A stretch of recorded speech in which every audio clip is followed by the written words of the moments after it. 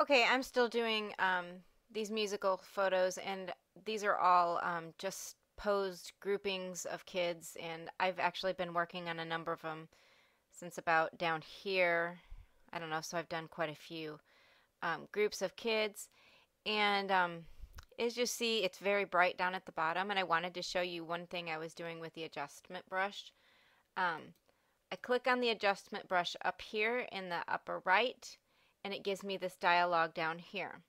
Um, my exposure, um, what I'm choosing here is a built-in Lightroom um, preset called exposure. It remembers this setting I had exactly the last time I used it. I am going to try to darken down here. Now you can set the exposure at anything you want, minus 1.13, and you can brush it and I, oh, I want to show you that I have the auto mask off because I don't want it to grab the edges down here. And I'm using the mouse with the wheel. I find it's faster to change size with the wheel. So I darkened it a little bit. I actually want to darken it a lot. Watch what happens. So it's minus 2.99. I'm going to do another new one. I started this last one at 1.313, so that's why it kicked in at that. Um, it's actually not dark enough there. Let's darken it one more time.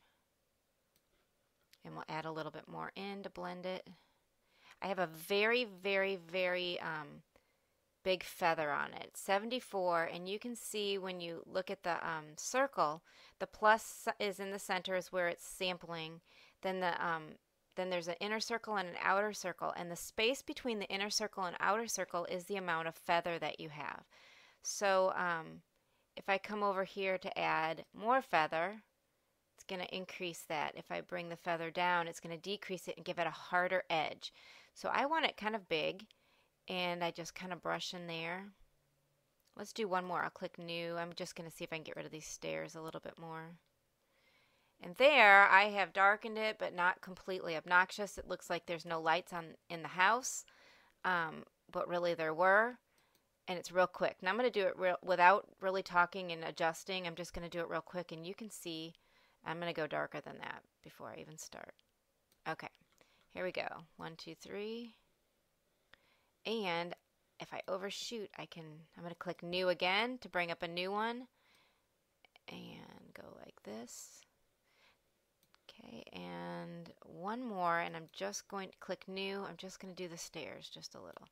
Get rid of those. Okay, so now, if you look at these points, um, the dot, the one that has the filled in black dot is the active one, and you can see that my red, when I hover over it, it shows me red, um, which area it covers. Now watch, I overshot a little bit and I got the actors. See how I got the actors on that one? This one's not yet selected. It's still um, solid white, but if I click on it, it turns black. And now I can come over here to erase. I have auto mask on, which I want. I'm going to use my wheel to scroll down to make it smaller. And I'm going to erase back some more detail. I don't want it totally dark in front of them. Okay, so let's hover over it and see what happens. Now it's cleaned up just a little. I can clean up around her shoe too.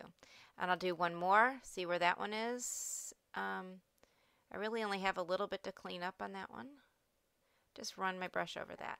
So um, it's really fast to do it. Um, it's a quick little adjustment and um, works great um, in the opposite direction if you have high key white, like a big white vinyl background from Denny's or um, big white paper, um, and it's not quite white enough in some areas. My vinyl sometimes gets a crease in it when the kids walk over it.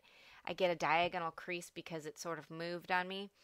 And um, if I do that, I don't notice it necessarily um, when it, when it's all bright. But then you bring it into into Lightroom, and you can see that there's a couple little shadows. So you can real quickly, instead of a negative number, you can bring that number way up.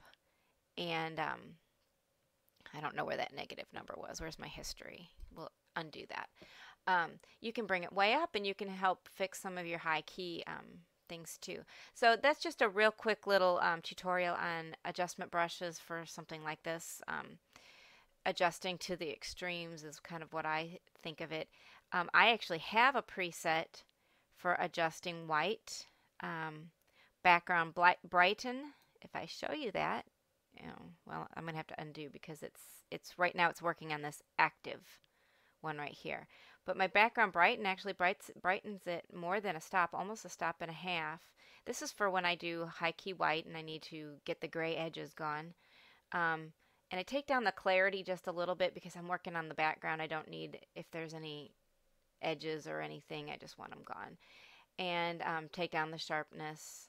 Um, so that's just one of mine. I, I also have slighten, background slightly brighten. I have background darken, background darken slightly. And you, these are all homemade presets. You can find what works for the way you shoot. Um, I find that when I'm just doing something like this, exposure works great. Okay? Um, so let me undo in the history back to where it was in case it's not. Very good. So um, try play around with that um, adjustment brush and um, you can do all kinds of great things with it with the auto mask on it detects the edges and with the auto mask off it um, does not detect the edges so be careful with that if you're doing a, a big old brush over the sky you want the auto mask off because otherwise all the edges or if you're in outside you'll have all the edges of the trees or whatever is behind in your scene and you do not want it to select um, to miss the edges. You want it to get the whole thing. So um, go ahead and try and play around with that and let me know if you have questions.